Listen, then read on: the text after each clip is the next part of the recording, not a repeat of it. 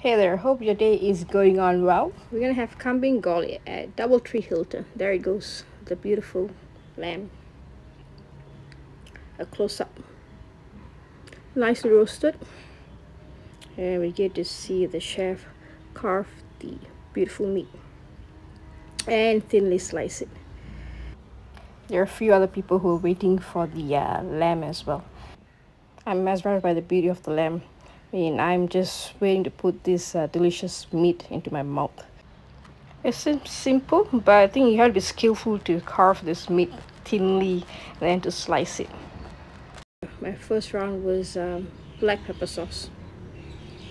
I think you have like uh, four to five different kind of uh, sauces to go with the lamb. Okay, super tender. The marinade done to perfection absolutely delicious. Every mouthful you get that deliciousness of the meat. To be honest there's no need for the black pepper sauce. I've quite compliments it but without it it's perfect. Okay this one uh, i got a pita bread. And i uh, stuffed the lamb into the pita bread. So it's lamb and bread.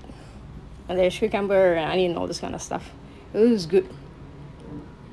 It really went well. The lamb and the bread. Okay. So went for a second round you can see the fat at the side there. That fat and that meat are best friends. They need each other. Together they are glorious. Tiny bit of fat and that meat. This round i went with ayam asam this sauce was the chef's recommendation. This is apparently his favorite eating the kambing golek so i had to try the ayam asam with kambing. So you have onion chili tomatoes. It's more like a tamarind. So you have the spiciness sourness and the saltiness. Three combo. And this it was delicious. So i tried two different kind of sauce the black pepper and this one. Okay this is charred okay this is the i think the best part. A little bit of fat.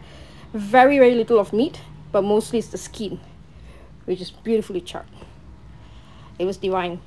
A blessing to my palate. That's about it. Our kambing golek journey. And there's the carcass the naked lamb. All right then. This is our kambing golek experience. Thanks for watching. Stay safe. Till we eat again